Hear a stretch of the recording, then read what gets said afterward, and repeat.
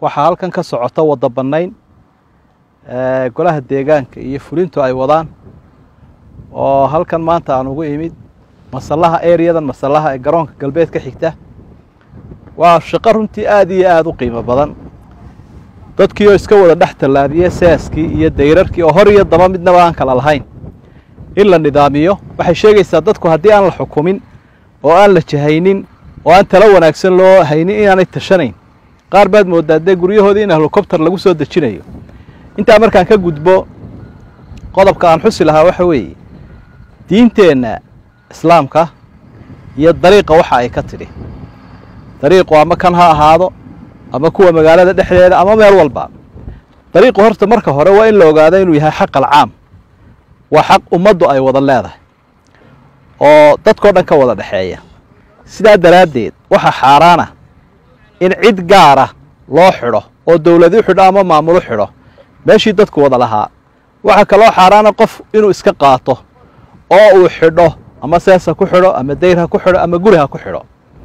Hadduu sidaa qofku yeelo wuxuu u badrheedhay in hantidiisii la dumiyo.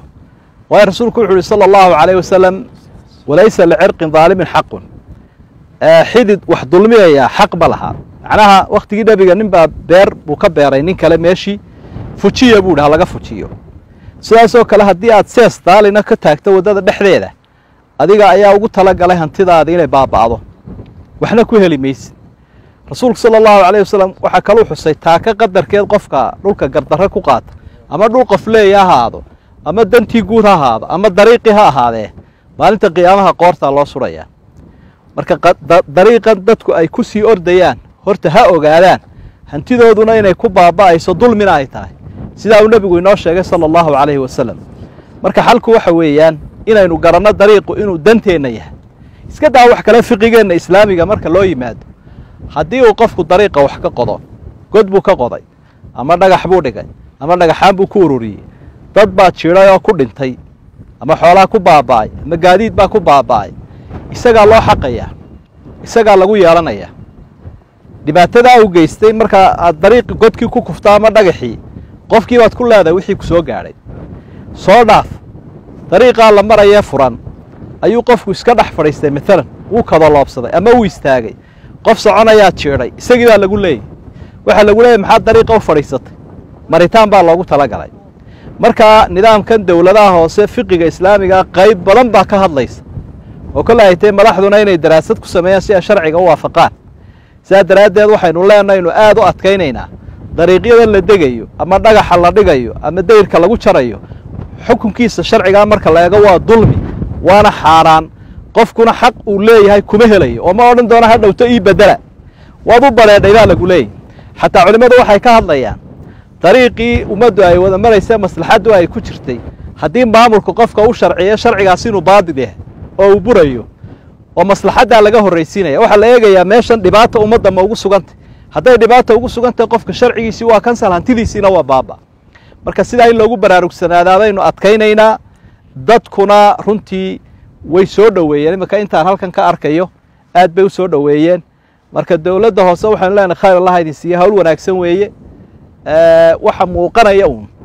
Marka shayga cadaalad loo wado ee dadku ay arkaan maamulku inaanu u kala eexanayn cid gaarana garabka saarayn. Qof waliba wuu ka badrheedhayaa hantidiisa in la dumiyo waanu u dulqaadanaya marka iyagana waxaynu ka rajaynaynaa inay saa ku sii wadaan wixii qalloocdayna in la saxo. Dadweynuhuna meel kastay joogaan waddanka iyo magaalooyinka iyo magaaladanba in la soo dhoweeyo qofku markuu ku qanco ee lagu qanciyo nidaam ahaan wixiisu inuu khayru sharci yahay waa in sidii kale looga guuraya haddii la taageeraya waa halkeeda. Hadduu xaq waxu yeesho waa halkeeda. Laakiin waa inaanu canaatamin. Sidaasaa isagana mustaqbalkiisa u fiican. Waxa kalaynu baraarujinaynaa. Maalan marka wax la qorshaynayo. Haddii meel lagu qoro dan ama dariiq lagu qoro qofku inaanu iibsan karin. Mar haddii dan guud ay ku qoran tahay waa ganacsatada ay khusaysaa. Inuu qofku dan guud iibsadaa waa xaaraan waa dulmi. Inuu sii iibiyaana ma ansaxayso. Sidaa daraaddeed meeshay dan guud ku qoran tahay dowladda hoosena ma iibin karto ganacsadana ma iibsan karo dariiquna waa la mid. Taana waxaynu caddaynaynaa xukunkeeda meel walba waad ka heli karaysaae waaba dan guud baa layidhi lacagta baanka taalla iyo asadkan ummadda u dhisan iyo dariiqan iyo dantan guud waa isku mid uun. Markaa sidaynu u karahayeysanayna ama aynaan u ogolayn lacagta baanka taalla in la boobo dantaa guud iyo dariiqaasina waa la mid. Aad baa u mahadsan tihiin iyagana waxaynu leenahay allaha idin fududeeyo dadweynahana waxaa waajiba inay ku garab galaan mar haddii dantoodii laga hadlayo. Sawaabkana allahayna waafajiyo madarkana allahaynoo sakhiro madar khayr qabo inuu ayna allahayna siiyo. Ciddii dhibaata ay soo gaadhayna dhibka allaha ka dulqaado mar walbana maslaxadda iyo manfacadda ummadda iyo diinta iyo sawaabku siduu ku jira allahayna waafajiyo. Aad baa u mahadsan tihiin